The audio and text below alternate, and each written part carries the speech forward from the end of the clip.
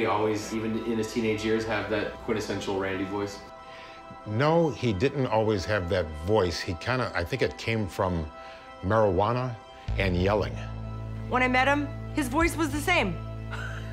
he didn't have like a speaking voice. That's how he really talked. It was really surprising. First time that Leslie Nielsen met Randy Savage, they're talking. Leslie pulls me off to the side and he says, You know, him affecting that voice like that is going to cost him in the long run. And I said, He's not affecting anything. That's just, that's just Randy. How you doing, uh-huh? Yeah, naked gun. I like it, dig it, uh-huh. It was just Randy. Randy always talked the same.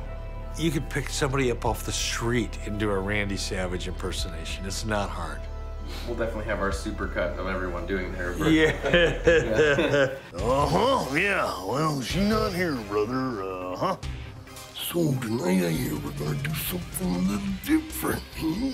Oh, brother, it's gonna be crazy, brother. His intensity, ooh, yeah. Somebody might be thinking they want to take the Macho Man's spot, you know? Beef, spice, snap into a Slim Jim. Make sure now, brother, because if you don't, Don't worry, Randy, we will. if you ask him something, it's like, well, I don't know. Thinking about something.